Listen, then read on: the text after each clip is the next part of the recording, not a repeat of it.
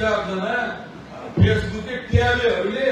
मान्छेले गालीहरू गरिसक्नु भयो ट्याब खाएर हिँडेकाहरूलाई सुधार दिन लैजाने त्यो दिनुहोस् हामी धेरै निराश हुनु पनि पर्दैन दुई चारजना ट्याबेहरूलाई सुधार दिएमा लैजाने अभियानको नेतृत्व म म कस्तो गर्छु तपाईँ चिन्ता गर्नु पर्दैन म यति कुरा सक्छु त्यसैले हाम्रो बेलामा नौटङ्की बाजल छ नि नौटङ्की बाजल नौटङ्की गर्न सक्दैन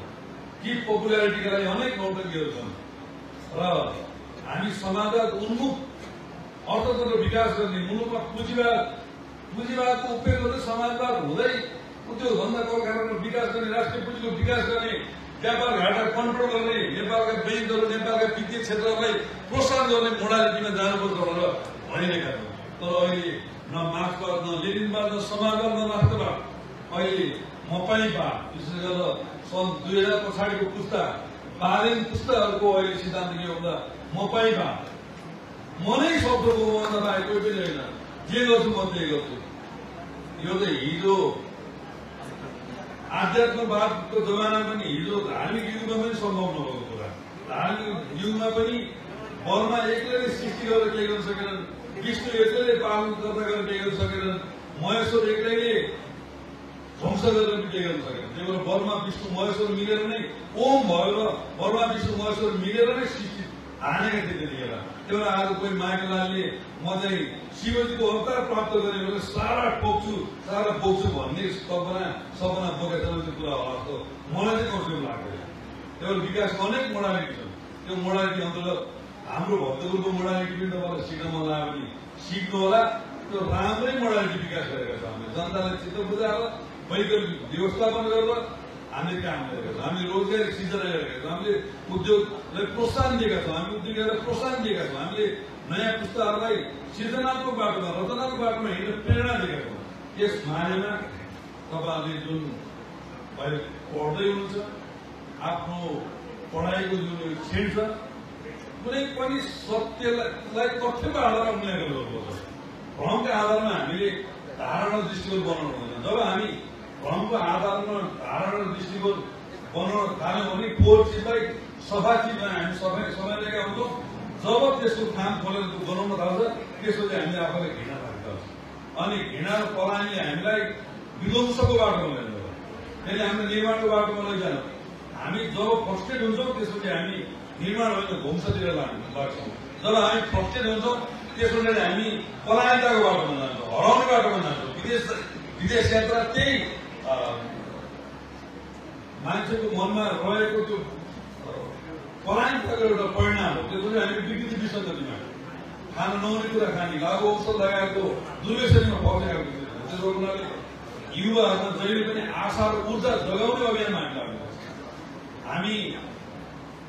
कुनै मानेमा हामी कमजोर ठाउँमा जन्मेका छैनौँ। कुनै मानेमा हामी गरिब ठाउँमा जन्मेका छैनौँ।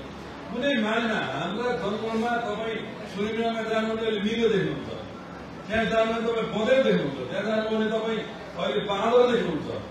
तपाईँ कुनै दुलो ख्याउले खान नपाएका बँदेल बाँदर देख्नुहुन्न मोटा घाटा रड लागेर डर लागेर बँदेल मिर्गो बाँदर देख्नुहुन्छ। हाम्रो जङ्गलमा हुर्केका बाँदर मिर्गो बँदेल त रड लागेर डर लागेर खाइरहेको छ कसैले के खाने हाल्दा छैन भने त हामी त मानव हो। त्यही भएर हामीले यो मुलुकलाई रहलाग्दो बनाउन सक्छौँ यो मुलुकलाई संसारको उन्नत मुलुक बनाउन सक्छौँ। भएर हामी कहीँ कतै निराश हुनु पनि छैन कहीँ कतै विकृति विसङ्गति छ भने हटाउने हो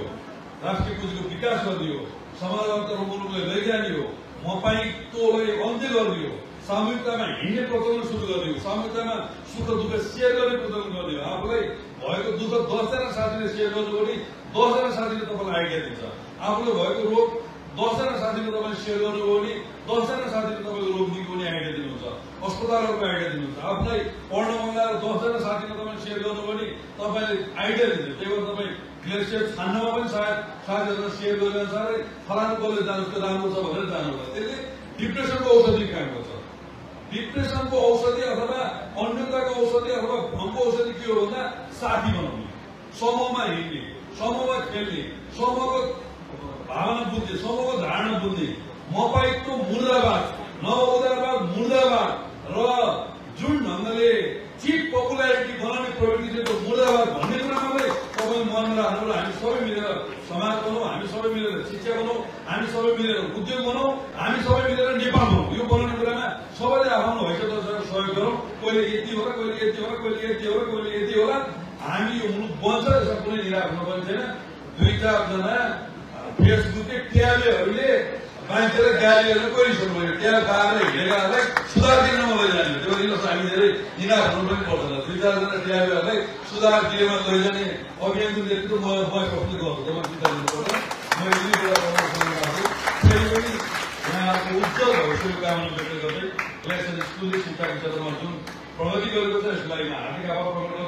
आज मेरो पार्टीको पनि केन्द्रीय बैठक छ। एउटा कुटनीतिक नियुक्त चाहिँ प्रमुखजीसँग पनि अहिले एघार बजी मिटिङ छ। अब हाम्रो ठेका त्यहाँ भेटेको दस पन्ध्र मिनट ढिला गएको हुन्थ्यो उहाँसँग फिक्स समय जानुपर्ने भएको हुनाले मैले तपाईँहरूलाई फुल समय दिन सकिनँ यसलाई क्षमा छु। फेरि पनि मेरो निर्वाचन क्षेत्र डोलेश्वरमा यहाँलाई हार्दिक स्वागत छ। यो कार्यक्रम सकेपछि भ्याउनु पनि घुम्नु होला। घुमेपछि तपाईँलाई धेरै आइडिया पनि पर्छ हस् धन्यवाद। वर्षमा चौबिस महिना सुनेको छ छैन। एक वर्षको रिचार्ज गरेर दुई वर्षसम्म डिसोम हेर्न पाइन्छ भने भएन त एक वर्षमा चौबिस महिना? अझ प्रत्येक साता सो साताभरिमा एक वर्षको लागि रिचार्ज गर्नेहरू मध्येबाट एकजनालाई विकली लकी ड्र मार्फत नगद रु एक लाख पुरस्कार दिइन्छ भनेर पनि सुनाइदिनुहोस् न। होम खुसीको कनेक्सन सुनिश्चित प्रतिफल पाइन्छ